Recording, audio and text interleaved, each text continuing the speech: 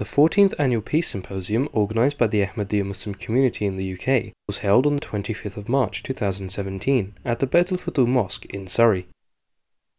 His Holiness Hazrat Mirza Masroor Ahmad, may Allah be his helper, the worldwide head of the Ahmadiyya Muslim community, blessed the event and delivered a strong message to individuals and world leaders at large.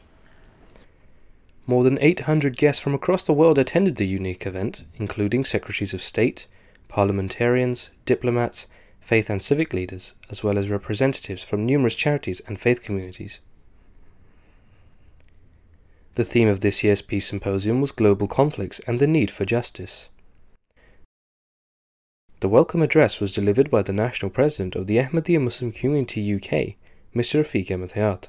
The past year has seen the world become even more fragmented, and international division and tensions have become ever more apparent that there have been renewed focus on nationalism, and more worryingly, that was once in the realms of rhetoric that's moved into the world of reality.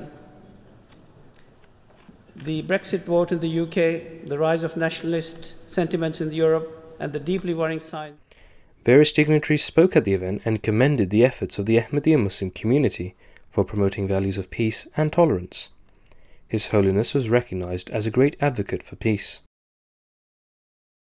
you have been a champion of this, you have been an example, and uh, I conclude by witnessing that uh, everywhere in the world I have met the Ahmadiyya communities, not only I felt at home, and I, have, I must also acknowledge the fact that I am not a Muslim, but I felt among brothers and sisters.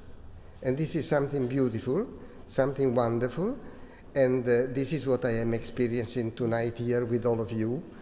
And uh, the only expression that comes from my heart, which I believe everybody understands, it is in Arabic, but it's very beautiful. Alhamdulillah. Thanks be to God. Thank you. Shukran. Shukriya. The annual Peace Prize was awarded to Setsuko Thurlow, a survivor of the nuclear bomb used on Hiroshima in 1945.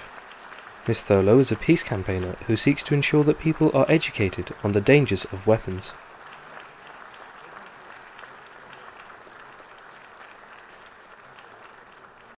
The keynote address was delivered by His Holiness, the worldwide head of the Ahmadiyya Muslim community, Hazrat Mirza Masroor Ahmad, may Allah be his helper. His Holiness addressed the audience explaining the true teachings of Islam as taught by the Holy Prophet of Islam, peace and blessings of Allah be upon him, and revealed by God Almighty in the Holy Quran. He emphasized that Islam is a religion of peace that teaches no form of extremism or terrorism, and true Islam is not to be feared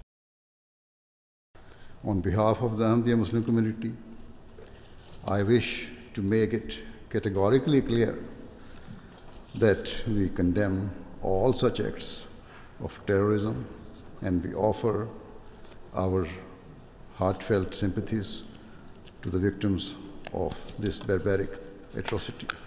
Most regrettably, and in complete violation of these peaceful objectives certain Muslim groups or individuals have turned their mosques or madrasas into center of extremism, preaching hatred and inciting others to commit terrorist acts against both non-Muslims and Muslims who belong to different sects of Islam. A Muslim is not only duty bound to offer his prayers, but it is also incumbent upon him to take care of orphans, feed the poor. Otherwise, our prayers will be in vain. It is categorically mentioned in the Holy Quran, chapter 107, verses 3, 4, and 5. His Holiness met personally with various dignitaries and guests. His Holiness emphasized how the responsibility for finding solutions was on the governments and policymakers.